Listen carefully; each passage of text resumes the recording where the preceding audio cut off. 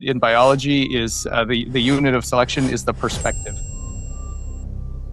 It is it is uh, observers, and when I say observers, I don't mean humans necessarily, not not just humans, but but every every active system is an observer that has a perspective of some of some degree, and it is different perspectives trying to uh, uh, interpret, hack, uh, compete with and cooperate with each other. It's a, it's all all of this is is, is really a battle of and, and a differential battle of perspective.